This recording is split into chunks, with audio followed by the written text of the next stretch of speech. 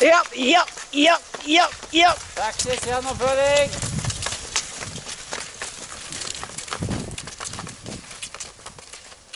Lars sliter litt i dette terrenget fordi